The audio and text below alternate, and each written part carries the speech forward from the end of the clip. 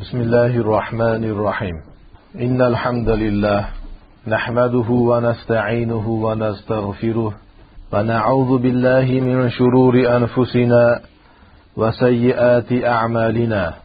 من يهده الله فلا مضل له ومن يضلل فلا هادي له. وأشهد أن لا إله إلا الله وحده لا شريك له وأشهد أن محمدا عبده ورسوله أما بعد. surasi to'qson to'rtinchi oyat أستعيذ بالله.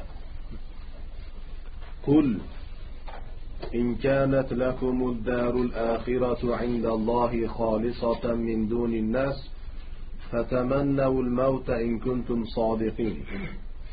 ayt ey muhammad alayhissalom agar sizlar uchun oxirat diyori ya'ni jannat Allohning huzurida insonlardan boshqa sizlargagina xolis bo'lsa sizlarga xos bo'lsa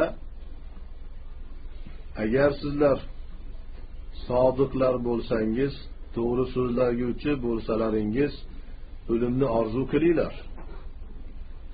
Alloh subhanahu va taolo payg'ambarimizni yahudiylarni munozaraga chaqirishlikka buyuryapti. Tafsiri qullahum ularga aytgin yahudiylarga in lakumuddarul lakumud ayal jannatu. E, oxirat diyori ya'ni jannat sizlarniki bo'lsa indallohi xolisatan mana xossatan allohning huzurida sizlarga xos bo'lsa min nasi boshqa insonlardan tashqari ya'ni boshqa insonlar kirmasa jannatga kama zaamtum sizlar gumon qilganlaringizdek bo'lsa fatamannavul mauta in kuntum sodiqin. Agar sodiqlar bo'lsalaringiz o'limni orzu qilinglar. Taallaqa bitamannav shartoni. Tamannav o'limni orzu qilinglar degan buyruqqa ikkita shart bog'landi. Birinchisi ikkinchisiga qayd bo'lyapti. أي إن صدقتم في زعمكم أنها لكم ومن كانت له يؤثرها والموصل إليها الموت فتمنوه يعني sizlar shu jannat sizlarniki ekan sizlarniki degan gumonda sodiq bo'lsalaringiz kimiki jannat uniki bo'lsa albatta jannatni isor qiladi dunyodan afzal deb biladi Va jannatga olib boruvchi narsa esa o'limdir. Shuning uchun o'limni orzu qilinglar deb ayting deyapti. Ya'ni agar sodiq bo'lsalaringiz va agar jannat sizlarniki bo'lsa degan ikkita shart o'limni orzu qilinglar degan bir javobga jazoga bog'lanyapti. Chunki agar sodiq bo'lsalaringiz deganda ham mana aytilyaptiki birinchisi ikkinchisida qayd bo'lyapti. Qaysi gapda sodiq? Jannat ularniki ekanligi. Bundan oldingi oyatlarda ular aytishdiku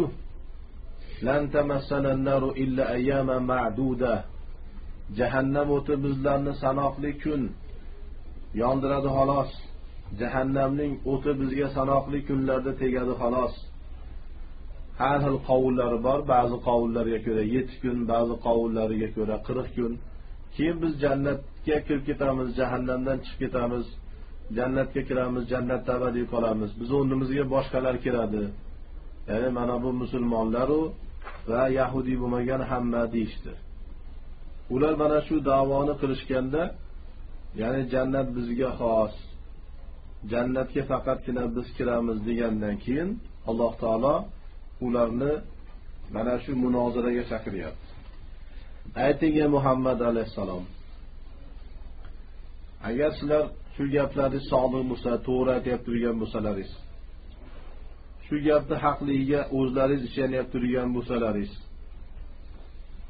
Jannat sizlarga xos bo'lsa jannatga sizlardan boshqasi kirolmasa o'limni orzu qilinglar. O'linglar. Zotan sizlarni jannatdan to'sib turgan narsa o'limku mana shu hayotku. Hayot bitadi o'lasizlar shu bilan jannatda bo'lasizlar. Qani ko'raylikchi? Deb alloh subhanahu va taolo ularni munozaraga chaqiryapti. Yahudlarning aqidasi mana shu. Nasroniylarni ham aqidasi shu. Hammasi aytadiki biz ollohning huzurida xos insonlarmiz ollohning xos bandalarimiz deyishadi. Yahud nasroniylar o'zlarini kofir deb e'tiqod qilmaydi. Bizni avom o'ylaydiki yahud nasroniylar o'zini kofirligini e'tirof qiladi.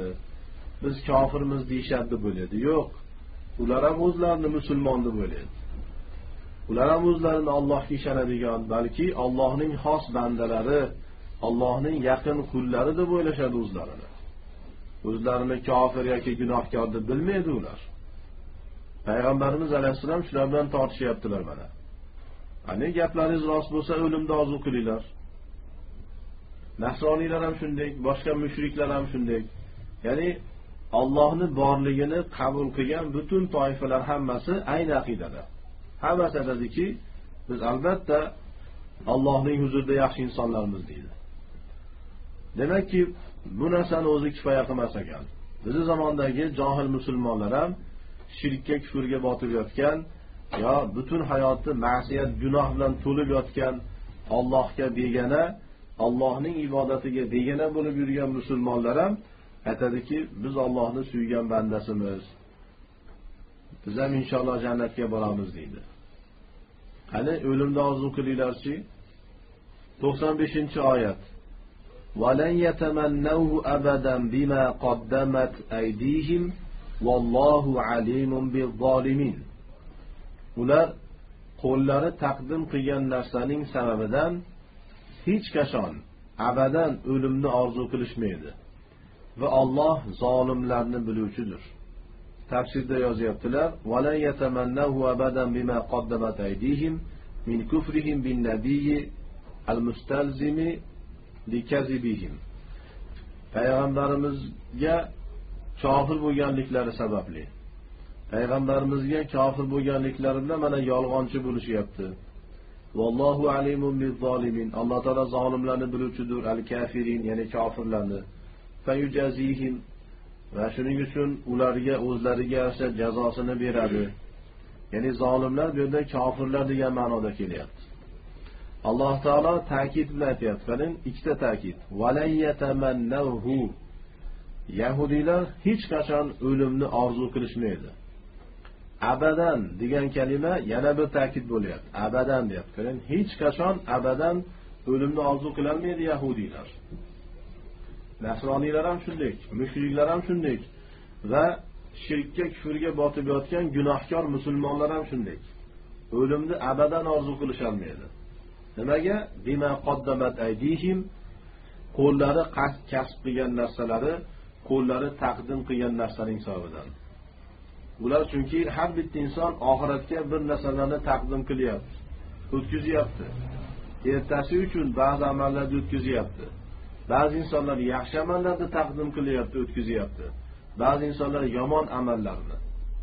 Endi qo'llar deyilyapti chunki bilasizlar insonning amollarini ko'pchiligi qo'l bilan sodir bo'ladi. Shuning uchun ko'pchilikka qarab hammasiga hukm berilyaptida qo'llari taqdim qilgan deyapti. Bo'lmasam ba'zi amallar borki inson qo'lsiz qiladi faqatgina oyoq bilan yoki ko'rib yoki eshitib yoki gapirib qo'lsiz ham sodir bo'ladigan amallar bor lekin ular oz. Ko'pi qo'l bilan bo'ladigan narsalar. Shuning uchun qo'l deyilyapti. Ammo bu tahsis uchun emas bu faqatgina qo'l bilan qilgan narsasi emas. Butun amollari maqsad shudir. Taqdim qilgan amallarni sababidan o'limni orzu qilisholmaydi o'zlarini kofirligini bilishadi. O'tgan oyatlarda aytdikku alloh taolo aytdi ولا تجعلوا لله أندادا وأنتم تعلمون sizlar biladigan holatlaringizda allohga nidlar qilmanglar deb alloh taolo man qildi shu yerda aytdiki va sizlar bilasizlar deyapti dunyodagi butun kofirlar o'zini kofirligini biladi ya'ni kufr amal qilyapti turganligini agarchi yo'q biz allohga yaqinmiz allohni do'stlarimiz deb davo qilyapti turgan bo'lsa ham butun mushriklar ollohni do'stimiz deb davo qilsa ham allohga shirk keltirib turganligini biladi.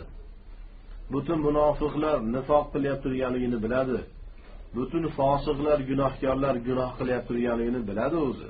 O'zini bilmaganga oladi o'zini o'zi aldayapti u. Dedi alloh taolo. Faqat o'zlarini aldayapti xolos ular. Shuning uchun ular o'limni orzu qilisholmaydi. Agar o'lsa o'limdan ularga azob bo'lishligini bilishadi.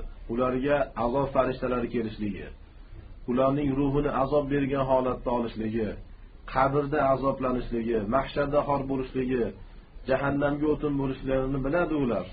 Shuning uchun o'limni orzu qilolmaydi. O'lishni xohlamaydi. O'limdan qo'rqishadi. Ular uchun eng katta tahlika, eng katta xatar, eng katta bir badbaxtlik o'limdir. Va Alloh taolo zolimlarni biladi.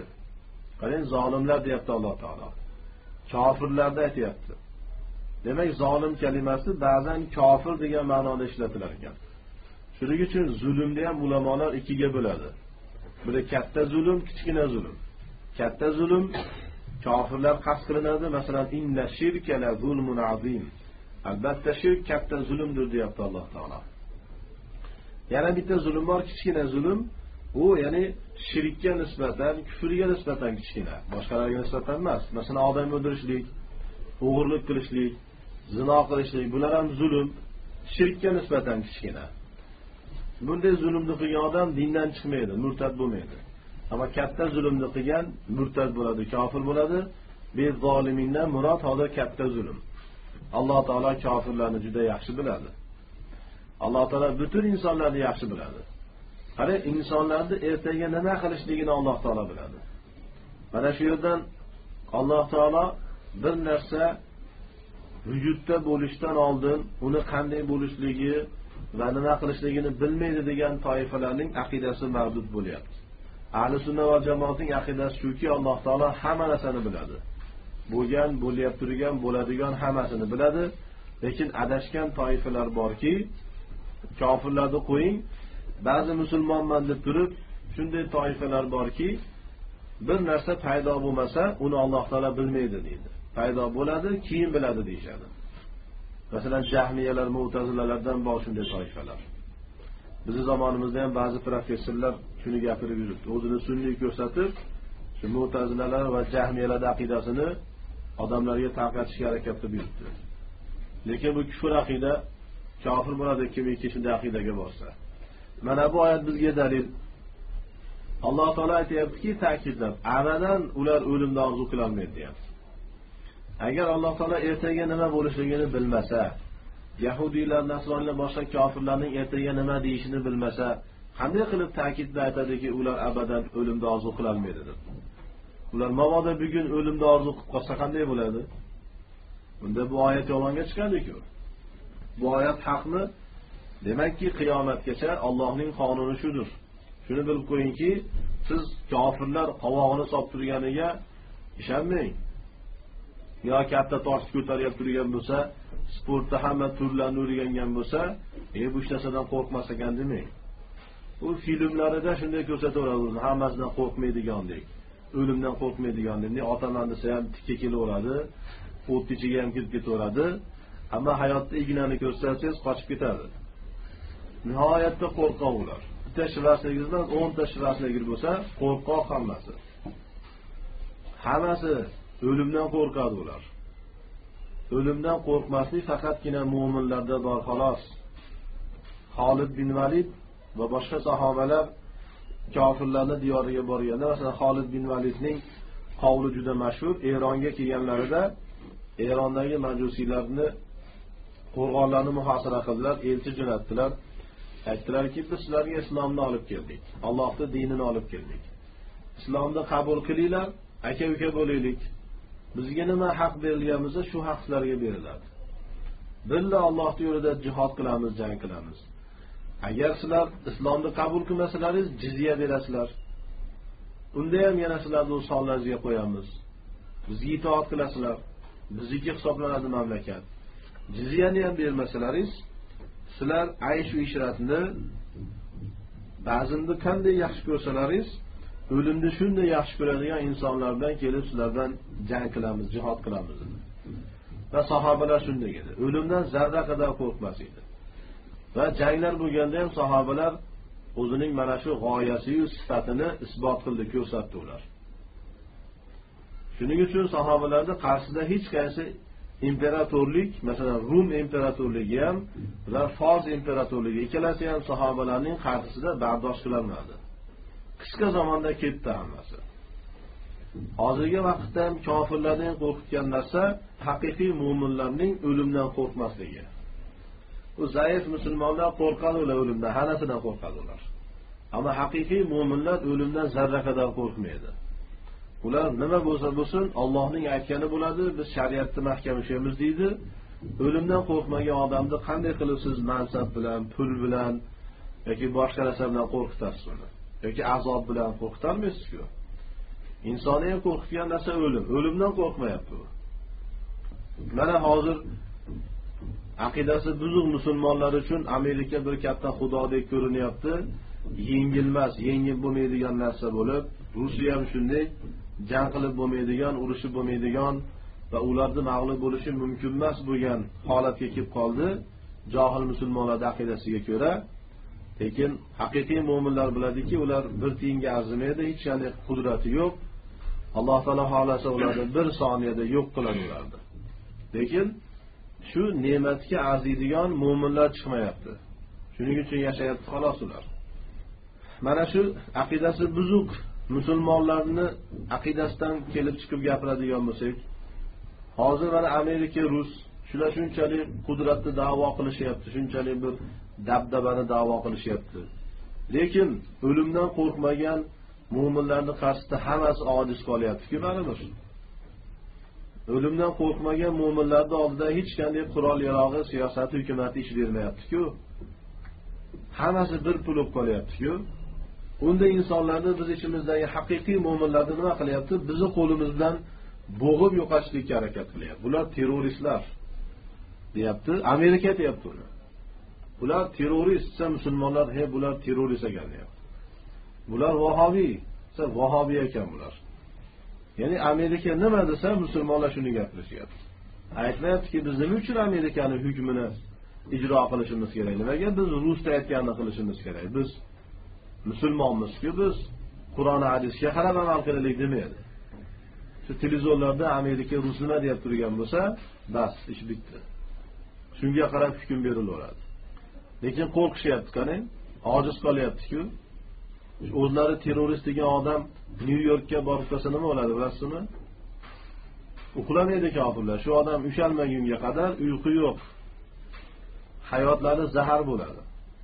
Kofirlarni eng ishongan markazlariga borib qolsin hayotlari zahar bo'ladi. Bitta bir kishi borib qolsa o'zlari terrorist degan haqiqiy mo'min borib qolsa o'limdan qo'rqmaydigan. Bas qani rembolar ular? Qani terminatorlar? Chiqsinchi yo'q sichqonni mingdan tanga ketgan. O'limdan qo'rqadi hammasi. Olloh aytyapti buni. Abadan ular o'limni orzu qilolmaydi ular. O'limdan qo'rqadi. O'limdan faqatgina mo'min qo'rqmaydi xolos. Mo'min kishi qo'rqmaydi. Alloh kofirlarni juda yaxshi biladi. Vallohu alimun zolimin bu oyatni qanday tushunishligimiz kerak? Ba'zi ulamolar shunday zohirini olib biz kofirlarga aytamizki o'limga tayyormisan deymiz. Ular aytadi yo'q tayyor emasman deydi. Oyatning tafsiri shu deydi. Ba'zi olimlarimiz aytadiki masalan ibn kasir ham tafsirida aytadiki bundan ko'ra boshqa bir ma'no bor u yaxshiroq deydi. Ikkinchi tafsir shundayki payg'ambarimiz alayhissalom nasroniylarni mubohalaga chaqirgandilar. Ya'ni la'natlashlik nasroniylar kelib payg'ambarimizdan bilan shunda payg'ambarimiz alayhissalom aytdilarki agar sizlar haqni qabul qilmasalaringiz kelinglar duo qilamiz. Sizlar ham chaqiringlar xotinlaringizni bola chaqalaringizni men ham xotinlarim bola chaqalarimni chaqiraman va badduo qilamiz. Kimiki yolg'onchi bo'lsa kimiki botil bo'lsa unga ollohning la'nati bo'lsin. Olloh uni halok qilsin deb badduo qilamiz dedi. Kelinglar dedi. Keyin ular aytdiki biz o'rtamizda bir mashvara qilaylik deb keyin borishda aytishdiki buku haq payg'ambar bilib turibmiz dedi.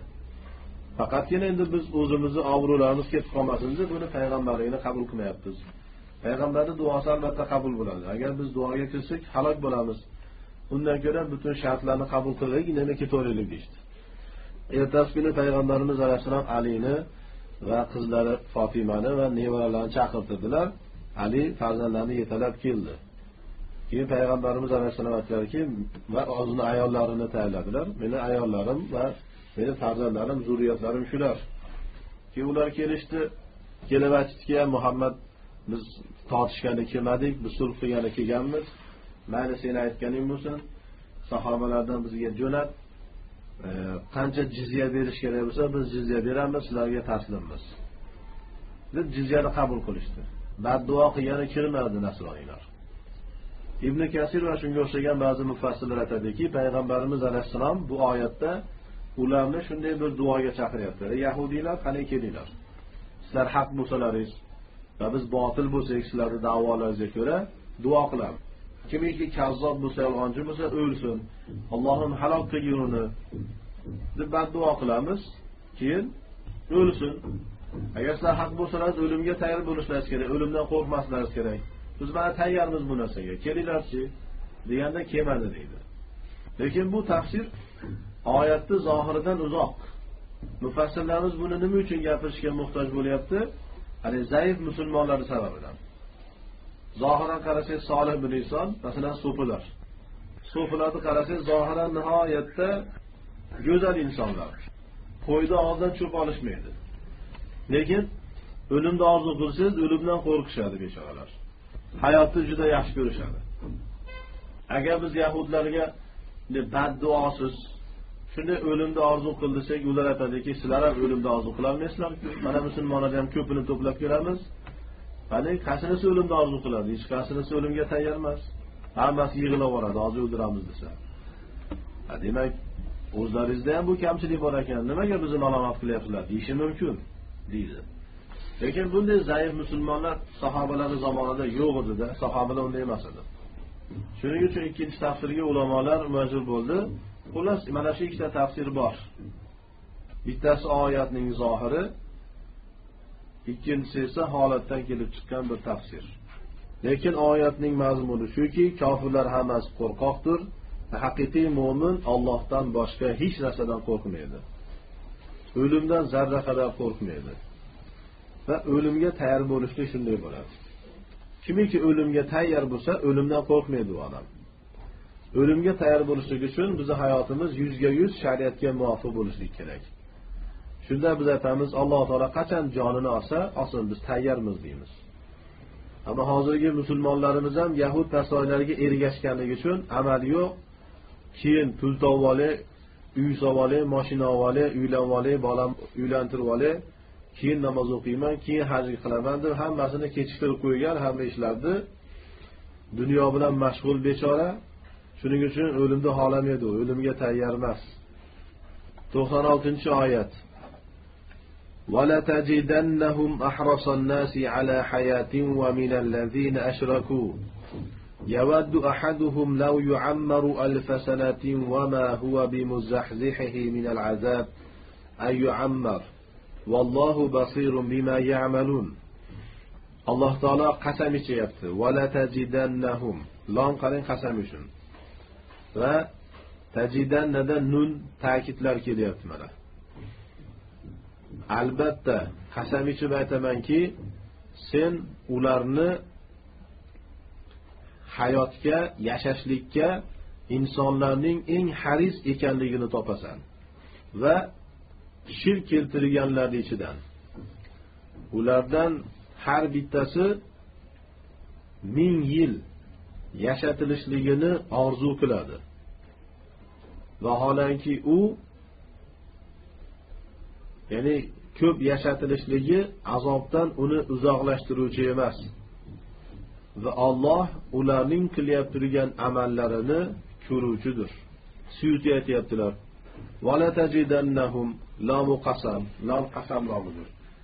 ahrosannasi ala lom hayotga insonlarni eng harisi eng qiziquvchi ekanligini topasan.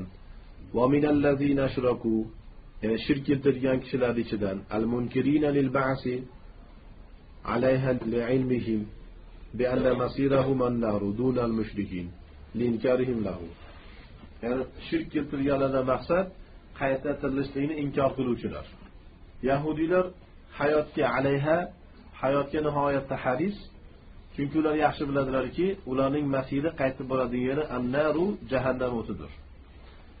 Mushriklardan boshqa. Chunki mushriklar lahu ya'ni ba'sni qayta tirilishlikni inkor qilganligi uchun hayotga bo'lgan muhabbatda unchalik emas deyaptilar. Yavaddu yatamanna mana orzu qiladi. Ahaduhum ulardan birortasi lav yuammaru alfa sanatin. Ming yil yashatilishligini umr berilishligini. lav mastariyatun bi ma'na an lav bu yerda mastariyadir an degan ma'noda mana umr berilishligi وهي بصلتها في تأويل مصدر مفعول يود va lav ya'ni an o'zining silasi bilan yuammaru fe'li o'zining ma'mullari bilan birgalikda masdar tavilda bo'lib yavadduning maf'uli bo'ladi وما هو أي أحدهم بمزحزحه مبعده من العذاب النار o'tdan ya'ni azobdan uzoqlashtiruvchi emas ularning birortasi. Ayyuammaru ya'ni failu muzahzih. Uzoqlashtiruvchining foili yuammardir. Umr berilishligi. Ay ta'miruhu mana umrning uzoq bo'lishligi. Vallohu basirun bima ya'malun. Ularning qilayotgan turgan amallarini alloh taolo ko'ruvchidir. Bil ya'ivatta ya'malun deb ya bilan ham o'qisa bo'ladi ta'malun deb t bilan o'qisa bo'ladi. Ta'malun desangiz qilayotgan turgan amallaringizni alloh taolo ko'rib turuvchidir. Va ularning jazosini beradi. Vasala ibn surayya an nabiy sallallohu alayhi vasallam au umara ammaniyati bil vahiy e, bu keyingi oyatga tegishli. Mana alloh taolo qasam ichib ta'kid bilan xabar beryaptiki yahudlar va butun kofirlar o'limni orzu qilishligini qo'ying. Mutlaqo teskarisiga insonlarni ichida hayotga eng harisi ekanligini topasiz. Hayotga eng qiziqqan va yashashlik uchun hamma narsani berishlikka tayyor bo'lgan insonlar mana shu yahudiylardir. Zotan ular shu dinni evaziga oxiratni evaziga dunyoni sotib olishdi. O'tgan oyatda keldiki ular oxiratda berib dunyo hayotini sotib olgan kishilardir dedi alloh taolo. Qarang ular uchun dunyo shu darajada qiymatli. Oxiratini sotgan inson dunyo uchun pul uchun vatanini bemalol sotaveradi. Oxiratini sotgan odam pul uchun xotinini bemalol sotaveradi qizini bemalol sotaveradi o'g'lini farzandlarini o'zini ham sotaveradi. Unga pul kerak xolos bunga. Hayot kerak xolos. Lekin mo'min kishi unga ollohni rizosi kerak bo'lganligi uchun u dinini saqlashlik uchun mo'min uchun ham hayot albatta qiymatli narsa ammo hayotdan voz kechaveradi. Nomusini himoya qilishlik uchun hayotdan voz kechaveradi. Obro'sini himoya qilishlik uchun hayotdan voz kechaveradi. Molini himoya qilishlik uchun hayotdan voz kechaveradi mo'min kishi.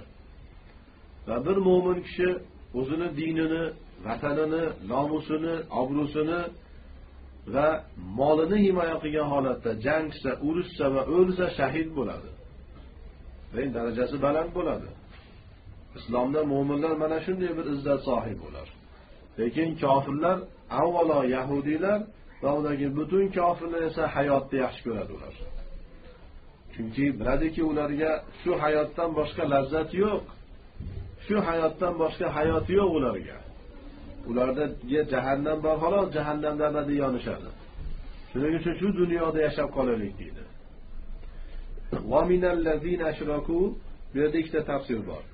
Va shirk keltirgan kishilardan deganda bir tafsiri shuki suyuti bunga ishora qildi. Yahudiylar insonlarni ichida va shirk keltirganlardan ham ko'ra hayotga yashashga nihoyatda harisdir. Nihoyatda qiziqadi ular. Nihoyatda rag'batli. Endi insonlar deganda ichiga mushriklar ham kirib ketaverar edi. Lekin alloh taolo mushriklarni xoslab gapirdi. Chunki boshqa oyatlarda ham keladi mo'minlarga eng ashaddiy dushmanlar yahudiylar va mushriklardir. Nasroniylar qalbi yumshoq ular mo'minlarga yaqinroq deb keladi keyingi oyatlarda ko'rasizlar. Mo'minlarning ashaddiy dushmanlari yahudiylar undan keyin mushriklar. Butparastlar. Payg'ambarimiz alayhissalom zamonida makka mushriklaridan boshlanadi hozir alhamdulillah makkada unday mushriklar yo'q. Lekin hozirgi vaqtda mushriklar kimlar? Majusiylar butparastlar masalan xitoydagi yaponiyadagi hindistondagi butparastlar va boshqa mushriklar ahli kitob bo'lmagan. Ular yahuddan keyingi ashaddiy dushman hisoblanadi. Yahuddan keyingi dunyoga eng qiziqadigan inson hisoblanadi. Bu bir tafsir. Ikkinchi tafsir shuki yahudiylar insonlarni ichida hayotga yashashga eng qiziqqan hamma narsani berishga tayyor bo'lgan insonlar va shirk keltirganlardan bo'lgan kishilar turib yahudlar va mushriklar ulardan birortasi ya'ni hammasi ming yil lav yuammaru alfa sanatin ming yil umr berilishligini orzu qiladi. Yavaddu. Holidiki qaniydi ming yil yashasam deydi. Albatta bu tafsirni siz avomlarga siz avomlar hayron qolib bizni hammamiz shunday orzu qilamizku deymiz hammamiz aytamizki qaniydi ming yil yashasak deymiz deydi. Ha demak bizni sifatimiz emas ekan bu qaniydi ming yil yashasak deb mo'min kishi aytadiki alloh taolo qancha umr bergan bo'lsa men shu umrimning hammasini ollohning yo'lida o'tkazaman deydi. Qancha umr bergan bo'lsa o'zi biladi. o'ttiz yil berganmi qirq yilmi ellik yilmi yuz yilmi ikki yuz yilmi o'zi biladi. Men qancha yashasam faqatgina allohni rozi qilib yashayman deydi. Shariatga muvofiq yashayman deydi. Shariatga xilof qilmayman deydi. Dinimga xizmat qilib robbimni rozi qilib yashayman xolos deydi. Ammo kofirlar qaniydi ming yil yashasak deydi. Ming yil ham kifoya qilmaydi ularga. Lekin ming yil yashalmaganligi uchun qaniydi hech bo'lmasa ming yil yashasak deydi. Orzu qilishadi. Lekin qo'llaridan kelmayapti. Mana amerika rus yevropa yaponiya bu davlatlar haqiqatdan taraqqiyot qilgan bo'lsa haqiqatdan ham narsaga qodir bo'lsa umrlarini uzoq qilib olishsinchi. Eng katta orzulari shu. Eng yomon ko'rgan narsasi o'lim. Shunchalik pullari ko'p bo'lsa dollarlari ko'p bo'lsa yevrolari ko'p bo'lsa ana shularni ishlatib umrlarini uzoq qilib olsinchi tibbiyotda nihoyatda haddan oshib ketishgan bo'lsa umrlarini uzoq qilib olishsin o'lmasin. Lekin majbur o'lyaptiku qancha xohlamasa ham qancha dod faryod qilsa ham baribir o'lyaptiku. Demak ojiz ekan hech narsa kelmas ekan qo'lidan ajali kelganda o'lyapti bechoralar. Alloh taolo har kuni bizga mingtadan dalil ko'rsatyaptiki kofirlar ojiz. Mana falon davlatni podshosi o'ldi hech kim qutqarib qololmadi falon davlatni mana vaziri o'ldi. Falon davlatda mana armiyasini katta generali o'ldi. Falon davlatda falon mafiya o'ldi. Qarang o'lar ekan ular ham generallar ham o'lar ekan baribir o'ladi baribir. Demakki ojiz hammasi. Nimaga musulmonlar ulardan qo'rqyapti?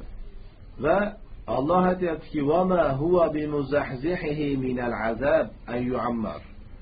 ularni umri uzoq qilingan taqdirda ham umrining uzoq qilinishligi ularni azobdan uzoq qiluvchi emas.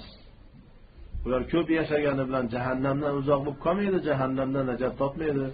Baribir jahannamga ketadi. Ming yil yashasin nima bo'libdi ming yil yashagan bo'lsa baribir ming yildan keyin o'ladi va jahannamda abadiyan o'tin bo'ladi. Bir kofir ming yil yashagan taqdirda ham u agar islomni tark qilgan bo'lsa eng ahmaq inson. Nimaga? Ming yillik bir hayotni deb abadiyan milliard yillar. Hech narsa bo'lib qoladigan darajada uzun bir azobni jahannam azobini sotib olyapti. Bunda zarra qadar aql yo'qku. Zarra qadar aqli bo'lganda edi bu foniy bir hayotni deb abadiy azobni abadiy jahannam azobini sotib olmas edi. Bunda aql yo'q. Shuning uchun alloh taolo kofirlarni hammasi to'g'risida kal anom ular hayvonlarga o'xshaydi deyapti. Bal adollu hayvonlarga o'xshasa qaniydi? Undan ham battar deyapti. Hayvondan ham battar deyapti. Aqlli inson qanday qilib jahannamni sotib oladi? Va umrining uzoq qilinishligi ularni azobdan uzoq qiluvchi emas. Umrining uzun qilinishligi ularni azobdan uzoq qiluvchi emas. Baribir azobga boradi. Va alloh ularni qilyap turgan amallarini ko'ruvchidir. Alloh taolo ko'rib turibdi ularni nima qilyap turganligini. Kofirlar dinni qarshisiga qanday kurashyapti turganligini dinga qanday zarar beryapti turganligini ko'rib turibdi. Qanday kufr shirk amallari qilishyapti alloh taolo ko'ryapti. Mo'minlarga qanday zulm qilishyapti alloh taolo hammasini ko'rib turibdi. Qanday rasvoliklarni sharmandachiliklarni qilishyapti hammasini ko'rib turibdi alloh taolo. Hammasini biladi alloh taolo. Hammasi yozilyapti. Ertaga javob berishadi ular. Dunyoda ham xor oxiratda ham xor. Hech qachon izzat ko'rmaydi ular. Mana endi keyingi oyatga tayyorgarlik ko'ryaptilar. Suyuti aytyaptilarki ibn surayya bu madinadagi yahudiylarni domlasi domlasini o'g'li mullavachchalar surayyo payg'ambarimizni sehrlagan domla bu. Buni o'g'illari endi mullavachchalar shular payg'ambarimizdan munozara qilishdi. Kelib payg'ambarimizdan savol so'radi. Yoki ba'zi rivoyatlarda umardan deydi ya'ni vahiyni farishtalardan kim olib keladi sizlarga deyishdi. Faqola jibril. Payg'ambarimiz alayhissalom aytdilarki bizga jibril olib keladi vahiyni. Faqola huva aduvuna yati bil azab. Shunda bu surayyoning o'g'li aytdiki u bizni dushmanimiz. Ya'ni jibril bizni dushmanimiz. U azob olib keladi dedi. Agar sizlarga kelgan farishta mikoil bo'lganda edi biz ham iymon keltirardik. Chunki mikoil mo'l ko'lchilik olib keladi hisbun mo'l ko'lchilik degani va silm tinchlik olib keladi deyishdi. Shunda mana bu oyatlar nozil bo'ldi. to'qson yettinchi oyat qul man kana aduvan li jibril فإنه نزله على قلبك بإذن الله مصدقا لما بين يديه وهدى وبشرى للمؤمنين ayting muhammad alayhissalom kimiki jibrilga dushman bo'lsa albatta jibril qur'onni qalbingizga tushirdi allohning izni bilan O'zidan oldingi narsalarni tasdiq qiluvchi qilib va mo'minlarga hidoyat va bashorat qilib deyapti alloh taolo. Suyuti aytyaptilar qullahum yahudiylarga aytgin man kana aduvan li jibril kimiki jibrilga dushman bo'lsa falyamut g'oyzon g'azabidan o'lsin g'azabidan yorilib o'lsin deyaptilar. Kimiki jibrilga dushman bo'lsa qo'lidan hech narsa kelmaydiku albatta jibril qur'onni nozil qildi. Ala qalbika qalbingizga. Biiznillohi biabrillahi Allohning amri bilan musaddiqon tasdiq qiluvchi bo'lib lima bayna qoblahu minal kutubi.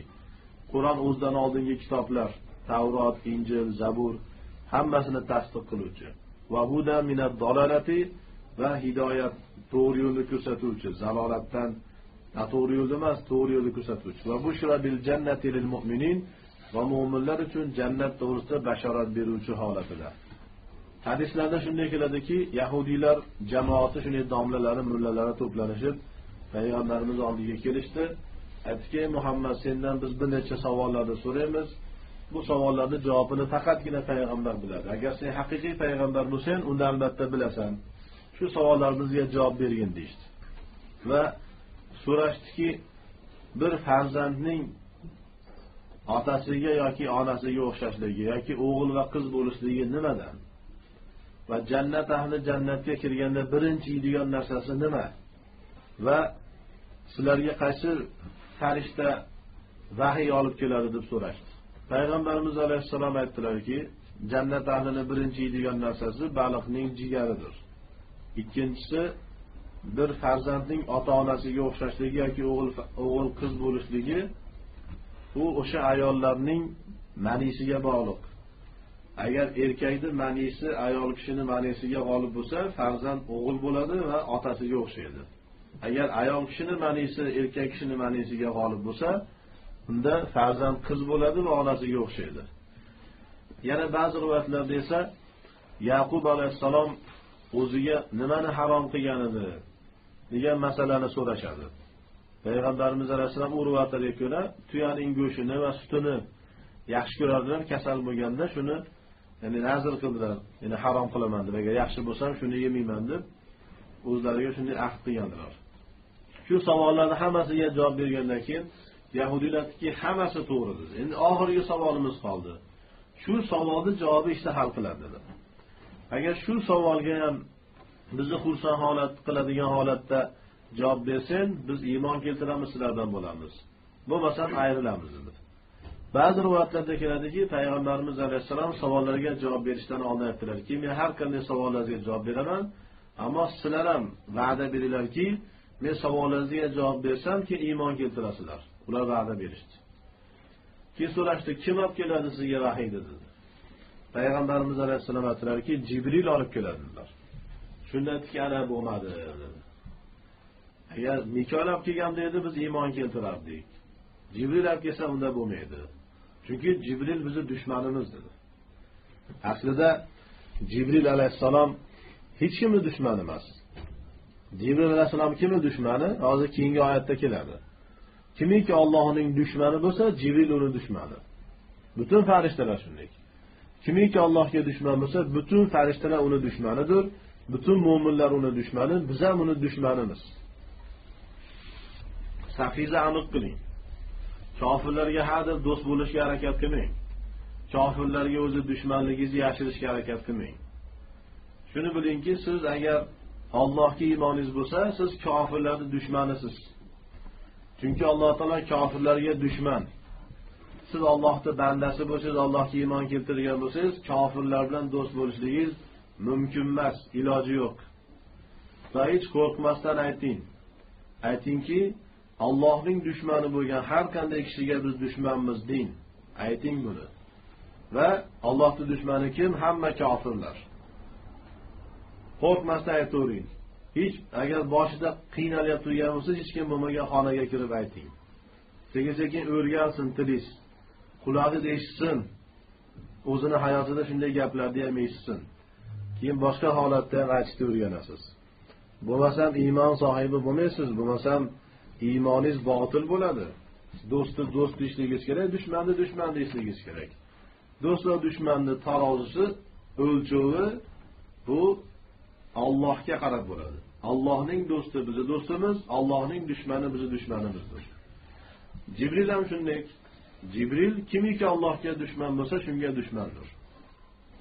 Bu yahudiylar bu mal'un insonlar muso alayhissalomga vahiyda olib kelgan jibril ekanligini bilishadi.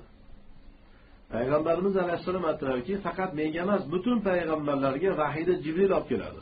Aniq bu narsa. Butun payg'ambarlarga jibril olib kelgan. Ba'zan jibril kelganda yonidan mikoil kelar edi birga. Lekin mikoilning ba'zan birga kelishligi masalan payg'ambarimizga ham kelgan birgalashib. Lekin birga kelganligi mikoilni vahiy olib kelganligini ko'rsatmaydi. Mikoil vahiy olib kelmaydi. Har bitta farishtani o'zini vazifasi bor. Alloh taolo ularni vazifalarini tayin qilib bergan. Jibrilni vazifalaridan bittasi ollohning vahiysini payg'ambarlarga olib kelishlik. Butun payg'ambarlarga vahiyni jibril alayhissalom olib kelgan.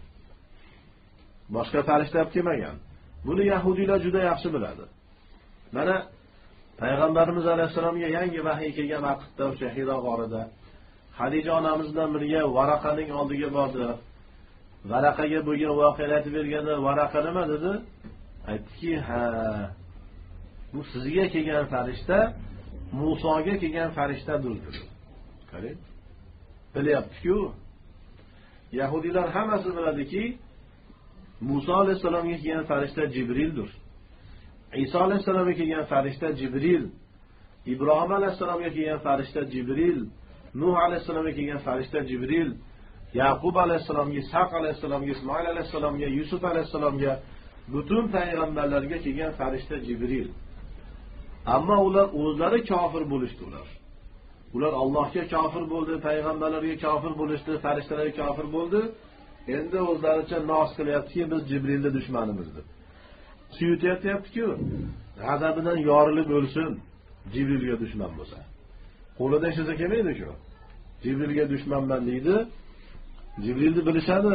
Lekin yana badbaxtlar shuni biladiki alloh taolo muhlat beryapti ularga. Jibrilni nima uchun yomon ko'rishyapti? Jibril alayhissalom ham vahiy olib keladi ham Allohga isyon qilgan qavmlarni halok qiladi. Bu yahudiylar tarixda ko'p isyon qilishdi, ko'p haddidan oshishdi. Shunda Alloh taolo Jibrilni jo'natdi azob berishlik uchun. Masalan, Lut alayhissalomning qavmi. Lut alayhissalomni da'vat da'vatini qabul qilmaganda alloh taolo lut alayhissalomning qavmini halok qilishlik uchun jibrilni jo'natdi. Jibril alayhissalom kelib lut alayhissalomning o'sha badbaxt qavmi to'qqizta qishloqda yashardi to'qqizta katta katta qishloqlar. Jibril alayhissalomni olti yuzta qanoti bor. Olti yuzta qanotini bittasini to'qqizta qishlarni shunday ko'tardilar. Bitta qanoti bilan shunday ko'tarib osmonga olib chiqdilar. Keyin aylantirib yerga urdilar. Va shunday qattiq urdi chachilib ketdi hammasi. Va endi alloh taolo qanday buyursa shunday. Ba'zan jibril alayhissalom kelardi bir baqirarini shu bir baqirganiga insonlar bardosh qilolmasdi quloqlari yorilib ketar edi. Jibrilni baqirganiga. Qarang bu yahudiylar jibrilga dushman bo'ladigan emas ular. Ya'ni bir chumoli sizga dushman bo'lsa ha?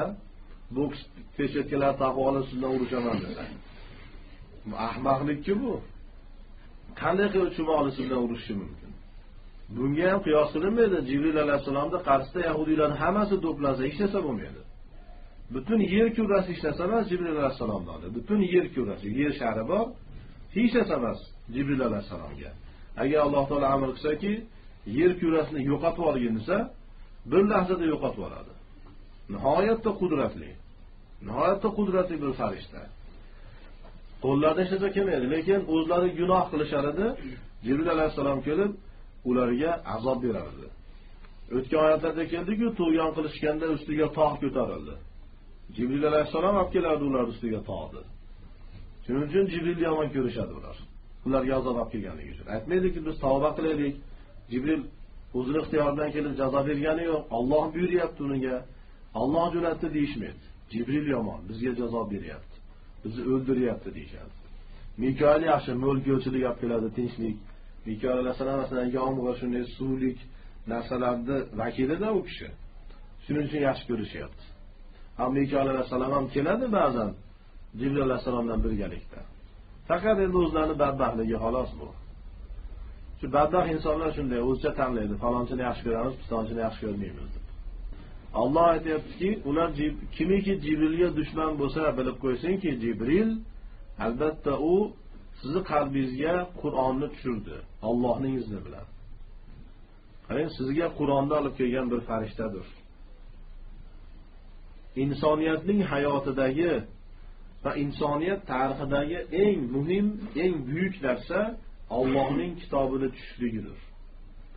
Va yer kurrasidagi eng muqaddas eng muborak narsa ham Allohning kitobidir buni bilib qo'yinglar. Aqida kitoblarida o'qidilaringiz masalan qur'oni karim alloh taoloning kitobi muhammad alayhissalomdan afzaldir. Muhammad alayhissalom bilasizlar butun insonlardan afzal butun dunyodan afzal muhammad alayhissalom. Lekin qur'on muhammad alayhissalomdan afzal. Qur'on butun payg'ambarlardan afzal. Qur'on butun farishtalardan afzal. Qarang butun payg'ambarlardan va farishtalardan afzal bo'lgan bir muborak narsa kelyapti. Kitob ollohning kitobi qur'on kelyapti. Eng muhimi shu ekanda eng muhimi shu.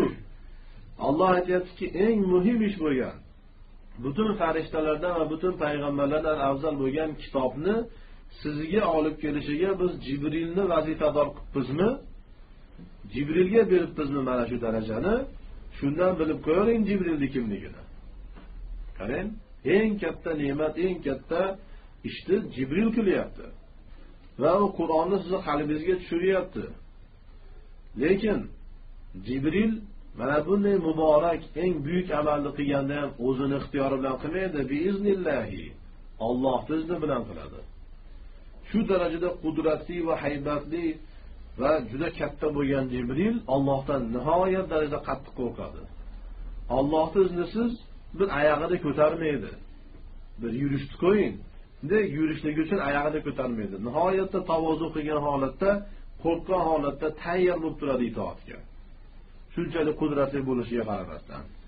Insonni qarasangiz hech qanday qudrati yo'q kibr qilgani kibr qilgan. Allohga ziyon qilgani isyon qilgan. Isyondan boshqa narsani bilmaydi. Va bu jibril muhammad alayhissalomga olib kelgan qur'on nimadir? O'zidan oldingi kitoblar tavrot injil va boshqa butun kitoblarni tasdiq qiluvchi holatda tushirdi buni. Qur'on hamma o'tgan kitoblarni tasdiq qiladi.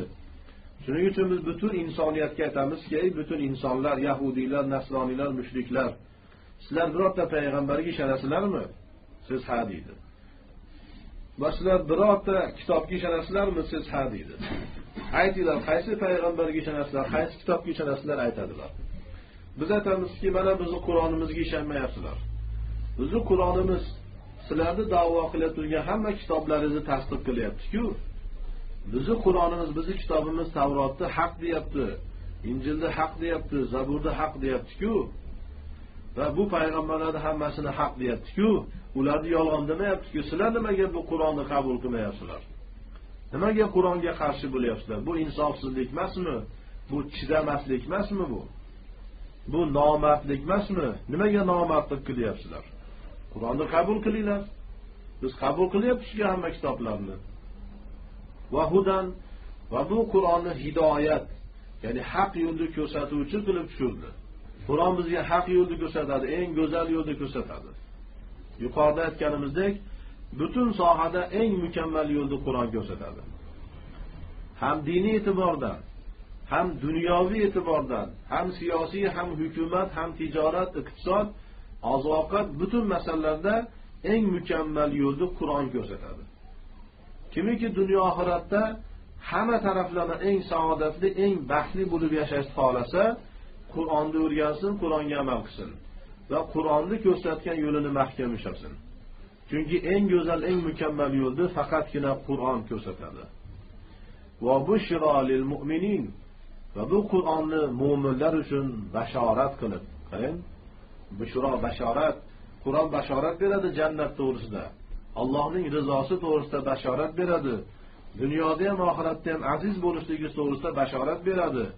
Ammo bu bashorat kimga? Mo'minlarga haqiqiy mo'minlar uchundir bu bashorat lekin kofir mushriklarga bunday bashorat yo'q. Ularga shum xabar bor. Ularga noxush xabar bor. Jahannam bor. Dunyo oxiratdagi xorlik bor. Qur'on shunday bir mukammal kitob. Shu mukammal kitobni jibril alayhissalom olib kelyaptilar. To'qson sakkizinchi oyat من كان عدوا لله وملائكته ورسله وجبريل وميكال فإن الله عدو للكافرين kimda kim ollohga dushman bo'lsa va allohning farishtalariga dushman bo'lsa allohning rasullariga elchilariga payg'ambarlariga dushman bo'lsa va jibrilga va mikalga dushman bo'lsa albatta alloh taolo kofirlarning dushmanidir deyapti qarang bu to'qson sakkizinchi oyat qiyomatgacha keladigan mo'minlar uchun bir qonundir qonun bu alloh taolo qonun qo'yyapti suyutiy tafsir qilyaptilar man kana aduva lillahi va malaikatihi va rusulihi va jibrila بكسر الجيم وفتحها بلا همزة وبه بياء ودونها jibril har xil o'qiladi masalan jim kasa jibril desiz ham bo'ladi papa jabril desiz ham bo'ladi. Hamza bilan masalan jabroil yoki jibroil desa ham bo'ladi. Ya bilan o'qisa ham bo'ladi yasiz o'qisa ham bo'ladi. Masalan jibril yoki jibril yoki jabroil jabroil. Va mikal mikal utifa alal malaikati. Mana jibril bilan mikail ikkalasi farishtalarga atf qilindi min atfil xosi alal ami xususiy narsani umumiy narsaga atf qilishlik bobidandir va fi qiroatin mikail keladi bi hamzatin va yain ba'zi qiroatlarda shuni hamza bilan va yo bilan mikail keladi va fi uxro bila ya boshqa qiroatlarda yasiz keladi fa innalloha aduwwul lil kafirin. Albatta alloh taolo kofirlarning dushmanidir avqahum mawqi'a lahum bayana li halihim aslida arab qonuni arab tilining qonuni shuni taqozo qiladiki bo'lishlik kerak. Kimiki allohga dushman bo'lsa farishtalarga payg'ambarlarga jibrilga mikolga dushman bo'lsa albatta alloh taolo ularning dushmanidir deyish kerak edi. Lekin lahumni o'rniga kafirun kalimasini qo'ydi. Ya'ni zamirni o'rniga ismi zohirda keltiryapti. Nimaga? Ularning holatini bayon qilishlik uchun. Ularni kofirligini e'lon qilishlik uchun kofirligini bildirishlik uchun alloh taolo ochiqchasiga aytyapti. Yuqoridagi oyatda yahudiylar jibril alayhissalomga dushmanligini e'lon qildi. Ular aytdiki biz ollohga iymonimiz bor ollohni yaxshi ko'ramiz va muso alayhissalomdan oldingi payg'ambarlarni ham hammasiga iymon keltirganmiz. Undan keyingilariga esa o'ylanishadi. Ba'zilarni qabul qilishadi ba'zilari qabul qilmaydi. Masalan yahudiylar iso alayhissalomni inkor qilishadi ochiqchasiga so'kadi ham juda og'ir kalimalar bilan. Isoni to'g'risida kofirliklariga shak yo'q. Ular endi o'zlaricha ba'zi narsalarga iymon keltirishgan ba'zi narsalarga kofir bo'lgan yana musulmonmiz deb yurishibdi. Biz allohning xos bandalarimiz deb olloh aytyaptiki mana ollohni qonunini eshiting kimiki ollohga dushman bo'lsa deyapti. Nima uchun alloh taolo bu yerda kimiki ollohga dushman bo'lsa deyapti? Yahudiylar biz ollohga dushmanmiz demaydiku. Dunyodagi butun yahudiylardan gaplashing hammasi aytadiki biz ollohni yaxshi ko'ramiz deydi. Allohga muhabbatimiz bor. Olloh bizni yaratgan bizga rizq beryapti bizga shuncha mulk berdi. Allohga shukurlar bo'lsin deydi. Allohni yaxshi ko'ramiz allohga jonimiz qurbon bo'lsin deydi. Lekin olloh aytyaptiki kimiki ollohga dushman bo'lsa deyapti. Chunki jibrilga dushman bo'lgan ollohni dushmanidir. Kimiki aytsaki jibril meni dushmanim desa bilsinki olloh uning dushmanidir. Chunki yuqorida aytdik jibril alayhissalom to'g'ri yahudiy va nasroniylarga azob olib keldilar ularga azob berdi jazo berdi. Jibril o'zini ixtiyori bilan qilmadiku buni ollohni buyrug'i bilan qildi. Shuning uchun jibrilni yomon ko'rgan jibrilga dushman bo'lgan ollohga dushman bo'ladi. Mana shuni sababidan alloh taolo lillahini zikr qilyapti. Kimiki ollohga dushman bo'lsa deyapti. Va allohning farishtalariga deyapti. Qarang yahudiylar faqatgina jibrilga dushmanmiz deyishuvdi. Olloh aytyaptiki allohning butun farishtalariga deyapti. Demakki bitta farishtaga dushman bo'lgan butun farishtalarga dushmandir. Bu o'zicha gap o'yini qilmasin biz faqat jibrilni yomon ko'ramiz. Hammasini yaxshi ko'ramiz demasin. Yoki boshqa toifalar chiqib biz faqat mikoilni yomon ko'ramiz yoki ba'zilar chiqib biz azroilni yomon ko'ramiz jonimiz oladiku. Boshqasini yaxshi ko'ramiz demasin farishtalarni qaysinisini yomon ko'rsa u hamma farishtaga kofir bo'libdi u. Allohga kofir bo'libdi va allohning butun payg'ambarlariga kofir bo'libdi va payg'ambarni qaysinisiga kofir bo'lsa u kofirdir. Mana shu oyat qonun bizga kimiki qarang allohning rasullariga dushman bo'lsa deyapti. Oxirida olloh aytyaptiki olloh kofirlarning dushmanidir. Ham kofir deyapti ham o'zini dushman deb e'lon qilyapti alloh taolo. Demakki kimiki muhammad alayhissalomni payg'ambarligini qabul qilmasa boshqa hamma payg'ambarlarni qabul qilsa baribir kofirdir. Chunki olloh aytyapti olloh kofirlarning dushmanidir. Kimiki iso alayhissalomni qabul qilmasa boshqa butun payg'ambarlarni qabul qilsa isoga kofir bo'lishligi bilan butun payg'ambarlarga kofir bo'lgan bo'ladi. Kimiki butun payg'ambarlarni qabul qilsa musoni qabul qilmasa butun payg'ambarlarni qabul qilmagan bo'ladi. Butun payg'ambarlarni hukmi shu.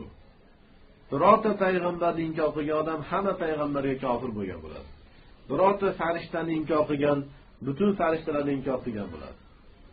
Endi alloh taolo butun farishtalarni zikr qilgandan keyin va jibrilga va mikalga deb ularni xoslab keltiryapti nimaga?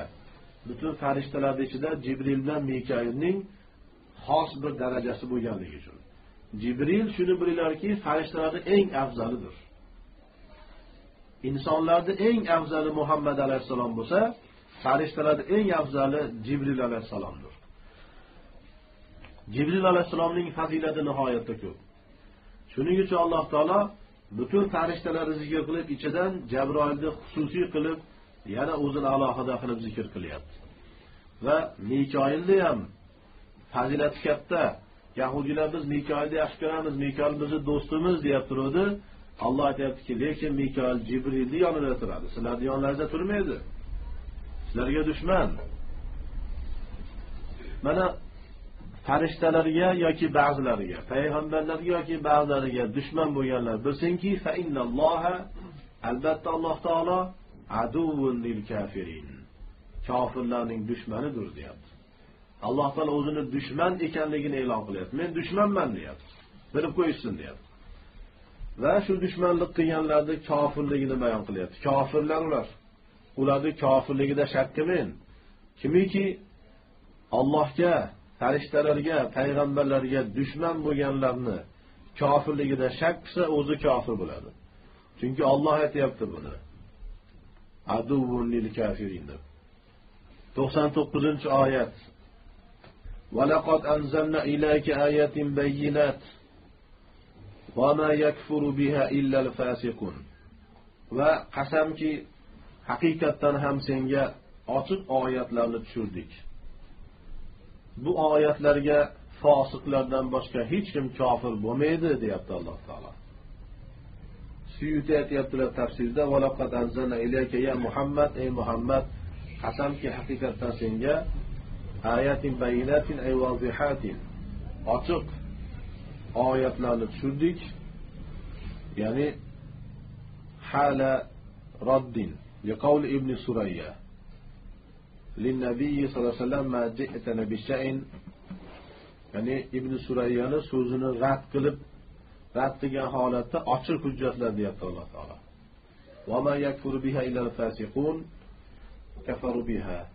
va bu ochiq oyatlarga faqatgina fosiqlar kofir bo'ladi xolos ya'ni kofir bo'lgan fosiqlar demak fosiq ham ikki xil ekan mana yuqorida haligi zolimlarni aytganimizdek alloh taolo qasam ichyapti valaqodda lom qasam nomidir.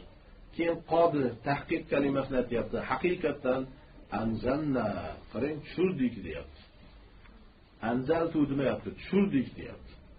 Ishning nihoyatda muhimligini bayon qilyapti. Ilayka senga ayatin bayinatin ochiq oyatlarni ochiq hujjatlarni. Qur'onning oyatlari qur'onning dalillari ilmlari hammasi ochiq. Buni ba'zi bir chala mullalar yoki domlalar qur'onni sizlar tushunmaysizlar. Qur'onni odamlar tushunmaydi uni biz tushunamiz xolos deb insonlarni aldamasin.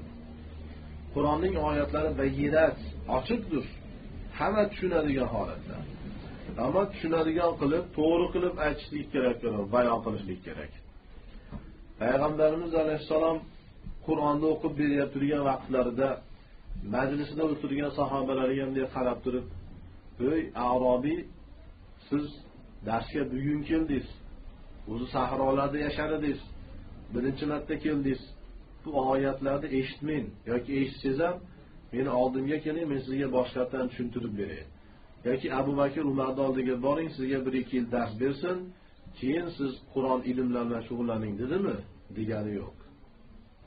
Payg'ambarimizni darsida abu bakr ham o'tirar edi hayotida birinchi marta darsga kelgan bir arobiy ham o'tirar edi hayotida alifni ham tanimaydigan. Hassasini ko'rsatib shu qaysi harfga o'xshaydi desangiz bilmayman dedi. Buni harfga nima aloqasi bor dedi. Shunday bir ilmsiz bo'lgan avomlar ham rasulullohni darsida o'tirar edi qur'onni eshitar edi va qur'onni tushunar edi amal qilar edi va avliyo bo'lib ketishardi allohni do'st bo'lib ketar edi lekin bizni zamonimizda mullalar shunday qiyin qildiki o'n yil o'qisangiz ham olim bo'lmaysiz. O'n yil o'qisangiz ham avliyo bo'lmaysiz. Qiyin bo'lib ketgan juda shuning uchun avomlar e, qiyin ekan biz qilolmas ekanmiz. Undan ko'ra pul topaylik. Baribir olim bo'lolmas ekanmiz va avliyo bo'lolmas ekanmiz. Hech bo'lmasa pul topaylik dunyoda yashaylik. Mullalarga topshirdik deb avomlar shuning uchun dindan uzoqlashib ketishdi. Bo'lsa payg'ambarimiz alayhissalom zamonida hamma ilm o'rganar edi islom hammani ilmga targ'ib beradi. Faqatgina bir toifa ilm o'rganmasin hamma ilm o'rgansin hamma qur'ondan xabardor bo'lsin. Qur'onning oyatlari bayinat ochiqdir. Hamma tushunadigan shaklda. Mana tarjima qilyapmiz aytyapmiz nimasi tushunmaydigan nimasi qiyin buni? Hammasi tushunadigan narsalar. Lekin domlalar o'zlari ba'zi bir domlalar shundayki shunday bir tarjima qilib shunday bayon qiladiki hech kim tushunmaydi ya'ni qancha diqqat qiling tushunmaysiz. Nimaga? Chunki o'zi tushungani yo'q. Shunday domlalarni o'zini bir maqoli bor. Dunyodagi eng ta'sirli va hammani hayratga soladigan vaz nutuq nima? Hech kim tushunmaydigani. Hech kim tushunmaydigan qilib gapirsangiz hamma hayron qoladi. Vo bugun ba'zi nutuq nihoyatda oliy bo'ldi. Hamma hayron bunday gaplarni eshitmaganmiz. Nimani tushundilar deysiz esimda qolmadi deydi juda qiymatli gaplar bo'ldi hech esimda qolmadi deydi e, qanday odamsan sen? Nahotki esingda qolmasa? Bir kino ko'rasan film uch soatlik hammasi esingda qoladi. Va'da ishlasan hech narsa esingda qolmaydimi so'ra? Qasddan bizni zamondagi mullalarni ko'pchiligi e, gapiradiki tushunmasin deb odamlar. Nimaga odamlar tushunib qolsa uyg'onib ketishadi ular. Tushunib qolsa keyin mullani o'ziga olsalar siz o'zingiz amal qilmayapsiz shu deb tushunib qolsa bir savol berib yuborishi mumkin olloh saqlasin. Keyin nima bo'ladi keyin. Shuning uchun hech kim tushunmaydigan qilib gapirishadi. Tushunmaydigan qilib dars berishadi. Lekin aslida qur'on oyatlari bayinat ochiqdir vozihdir nihoyatda vozih nihoyatda mukammal. Olloh aytyapti biz senga mana shunday ochiq oyatlarni tushirdik endi unga vama yakfuru biha? Hech kim bu oyatlarga kofir bo'lmaydi. Hech kim. Hech kim qarshi chiqmaydi. Illal fasiqun faqatgina fosiqlar qarshi chiqadi xolos. Fosiqlar kofir bo'ladi xolos. Fosiqlik qalay yomon ekan. Yuqoridagi zulm to'g'risida aytganimizdek fisq ham ikki qism ikki xil bo'ladi. Biri al fisqul akbar ikkinchisi al fisqul asg'ar. Katta fisq va kichkina fisq. Katta fisq katta fosiqlik dindan chiqaradigan. Mana bu yerda illal fasiqun deyaptiku va yakfuru biha. Oyatlarga hech kim kofir bo'lmaydi faqatgina fosiqlar kofir bo'ladi deyapti. Demak bu fosiqlar kofirdir. Ba'zi fosiqlik borki insonni dindan chiqaradi. Ikkinchi fisq bor fosiqlik. U kichkina fisq deyiladi. Shirkka nisbatan kichkina. Boshqalarga nisbatan emas. Masalan odam o'ldirishlik zido qilishlik o'g'irlik qilishlik bu ham fosiqlik. Ammo shirkka nisbatan kichkina gunoh hisoblanadi bular. Chunki alloh taolo ularni kechiradi. Xohlasa kechiradi. Ammo kufr bo'lgan fisqni abadan kechirmaydi. Shu e'tibordan fisq ikki xilga bo'linyapti qur'onda hadisda shu ikkala ma'nodan bittasida kelaveradi. Ba'zi yerda alloh taolo fosiq deganda kofirni qasd qiladi. Ba'zi yerda fosiq deganda musulmonu gunohkorni qasd qiladi. Siz uni bilib olishligingiz kerak. Bir narsani noto'g'ri tarjima qilasiz noto'g'ri tushunib qo'yasiz. Demak fosiqlikdan qo'rqishlik kerak. Yuqorida ham keldi fosiqlarni masalasi. Fosiq degani shariatning haddidan tashqariga chiquvchi degani. Shariatning hududlarini poymol qiluvchi degani. Ba'zi avomlar bor. E bizni olloh kechirsin biz fosiqmiz deydi. Ya'ni mullalar ularga shunday tarbiya qilgan biz fosiqmiz olloh bizni kechirsin deydi. Fosiqlikni qabul qilmang siz e fosiqman demang. O'zingizni isloh qiling. Agar sizni fosiq deydigan gapga sabab bo'ladigan amallaringiz bo'lsa uni tuzating. Mana olloh aytyaptiki qur'onga fosiqlar kofir bo'ladi deyapti. Qanday qilib fosiqlikni qabul qilasiz? Men fosiqman deysiz. Bir kuni bir mulla meni oldimda odamlarga fatvo beryapti. Shunday ko'chada ketyapti turdik u mullani muridi kelib qoldi. So'radi ba'zi masalalarni. Biz ba'zan namoz o'qiyolmaymiz yoki masalan sunnatga muvofiq libos kiyolmaymiz va soqol qo'yolmaymiz nima bo'ladi? Biz endi kofir bo'lamizmi? Yo'q sizlar kofir bo'lmaysizlar. Sizlar fosil bo'lasizlar. Zarari yo'q bor yuraver. Ammo musulmonsizlar sizlar deyapti. Fosiq bo'lasizlar xolos deyapti. Ketaver deyapti. Bu ham xursand bo'lib ketdi u ham mullalar odamlarga shunday tarbiya qilgan sen fosiqsan yuraver fosiqsan sen. Kofir emassan keyin beshoralar biz fosiq ekanmiz deb o'zlari qabul qilishadi biz fosiqmiz deb lekin fosiqlikdan qo'rqishlik kerak. Qarang qur'onga fosiqlar kofir bo'ladi deyapti. Fosiq bo'lmang. Va shu fiq kitoblarida ham keladiki hanafiylarni butun fatvolarida bor. Bir insonni kimiki fosiq deb so'ksa uni darra urib jazo berishlik kerak. Og'ir kalima bilan so'kibdi uni. Qarang bir insonni fosiq siz jazo beriladigan kalimani bizni zamondagi mullalar insonlarga o'rgatyaptiki sen fosiqsan kimsan fosiq ha bo'ldi qarang oddiy qilyapti uni. Yo'q fosiqlik hech kim fosiq demang. ya'ni fisq amali bo'lgan odamni ham siz fosiqsan demang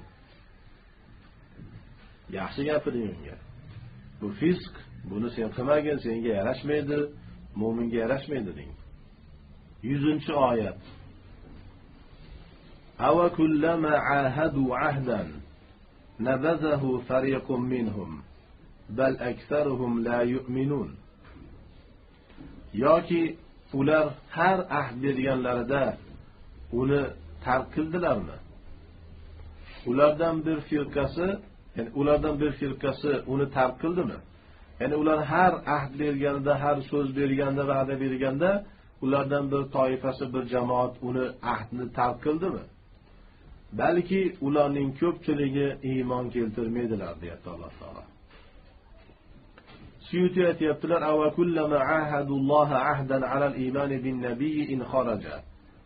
أو النبي ألا يعاونوا عليه المشركين yoki ular alloh taologa har ahd berganida nimaga ahd berishuvdi? Oxir zamon payg'ambari chiqqanda payg'ambarga yordam berishlik iymon keltirishlikka. Yoki payg'ambar kelganda payg'ambarni ziddiga mushriklarga yordam bermaslikka. Ahd berishganda nabazahu ya'ni torahahu tark qilishdimi? Ulardan bir toifasi binaqzihi ya'ni shu ahdni buzishlik bilan. Javobi kullama. Ya'ni tark qildi degani kullamoning javobi bo'lyapti. Va bu inkoriy savolning yeridir. Ya'ni alloh taolo ulardan o'rganishlik uchun so'ramayapti. Sizlar har ollohga ahd bersangiz bersalar buzaverasizlarmi deb ulardan javob kutgani yo'q. Ya'ni uyalmaysizlarmi sizlar? Ollohdan qo'rqmaysizlarmi qanday bir razil insonsizlar deb inkor qilgan rad qilgan holatda so'rayapti. Bal lil intiqoli bal esa intiqol uchundir. Bir gapdan bir gapga o'tilyapti. Bir hukmdan hukmga. Aksaruhum la yu'minun. Ularni ko'pchiligi iymon keltirmaydilar deyapti alloh taolo. Yahud nasroniylar butun kofirlar shunday. Ahdida turmaydi so'zida turmaydi. Yuqoridagi oyatlarda ham keldi. Ular ollohga qancha xiyonat qildi ular? Shuning uchun ahdiga xilof qilishlik munofiqlikning alomatidir. Mo'min kishi ahdiga xiyonat qilmaydi. Kofirlar allohga har ahd berganida doim ahdni buzdilar. Ular suyutiy ikki xil tafsir qildilarki payg'ambarga bo'lgan iymon masalasi bu bir. Ikkinchisi yahudiylar xo'sh payg'ambarimizga iymon keltirmadi keyin payg'ambarimiz sulh qildilar. Aytishdiki biz sizlar bilan jang qilmaymiz va sizlarni dushmanlaringizga ham yordam bermaymiz deb sulh qilgan edi. Ammo makka mushriklari bostirib kelganda handaq jangida ahzob jangida mushrik mushriklarga yordam berdi yahudiylar. Ularga qo'shilib ketdi. Bir bo'lib turib payg'ambarimizni va atrofidagi sahobalarni yo'qotib tashlashlikka harakat qilishdi. Alloh shuni aytyapti ular har ahd berganida ulardan bir toifasi ahdi buzaveradimi hech so'z yo'qmi sizlarda bir lafz degan narsa yo'qmi gaplaringizda turmaysizlarmi tuturuq yo'qmi sizlarda? Balki ularni ko'pchiligi iymon keltirmaydi deyapti alloh taolo. iymonga kelmaydi ishonmaydi ular iymonsiz qarang yahud nasoiylar iymonsizdir doim ahdiga xilof qilgan ular agar allohga bergan va'dasida tursa nimaga muhammad alayhissalomga iymon keltirmayapti bir yuz birinchi oyat ولما جاءهم رسول من عند الله مصدق لما معهم نبذ فريق من الذين أوتوا الكتاب كتاب الله وراء ظهورهم كأنهم لا يعلمون va ularga Allohning tarafidan Allohning huzuridan rasul kelganda ular bilan bo'lgan narsani tasdiq qiluvchi bo'lib kitob keltirilgan kishilardan bir toifasi Allohning kitobini bellarining orqasiga irg'itib yuborishdi qarang nabaza irg'itib yubormoq taraka demayapti alloh taolo. Nabaza otib deyapti. Go'yoki ular bilmaydilar. Xuddi bilmayap turgandek suyuti aytyaptilar muhammadun sollallohu alayhi vasallam allohning huzuridan kelgan rasul bu muhammad alayhissalomdir. Oyatda u kishi qasd qilinyapti. Ular bilan birga bo'lgan narsani tasdiq qiluvchidir.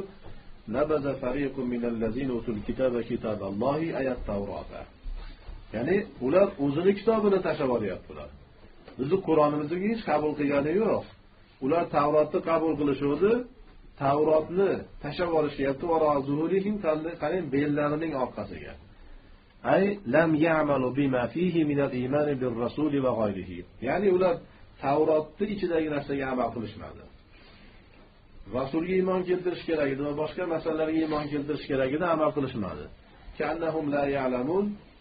Go'yoki bilmaydilar xuddi bilmayapti turgandek.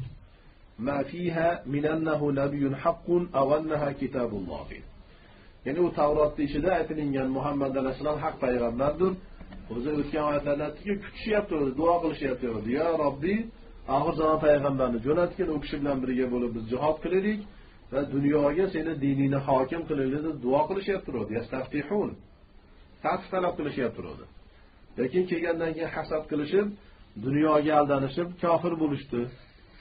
Va ular shu tavrat ollohni kitobi ekanligini va bunga amal qilishlik kerakligini bilishadiyu xuddi bilmayapti turgandek tark qilib yuborishyapti deyaptilar. Alloh taolo payg'ambarimiz to'g'risida xabar beryapti mana.